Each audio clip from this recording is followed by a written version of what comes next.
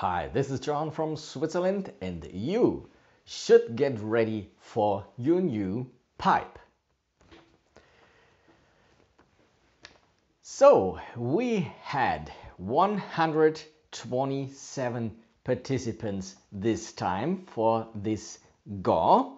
So that means we have a number 100, a tobacco special prize. And this time it goes to Boris Tilo.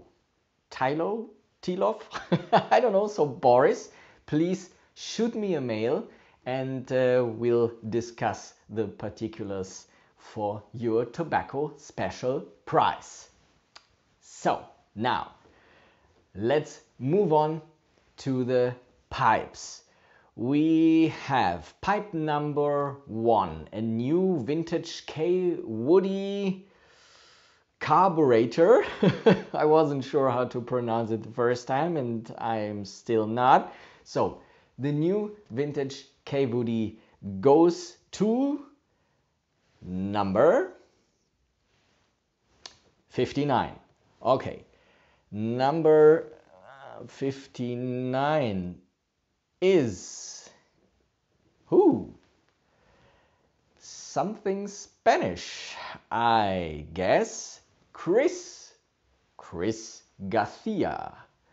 Congrats to this brand new unsmoked pipe. Pipe number two. That is a beautiful, breathtaking no name. And this one goes to number 61. Number 61. Okay, the second challenge here um, when it comes to pronunciation, Frank. So that's easy, but then, hmm, Dananai, Dananai, I don't know, Frank D. It's Frank D. Congrats, Frank, to this great pipe pipe number three, a Joby Joby Shellmore. And this one goes to number 44. Brilliant number. And number 44, and please let it be an easy name. yes, it is almost Wille 4W. Willie, whatever, 4W. Congrats to that new pipe.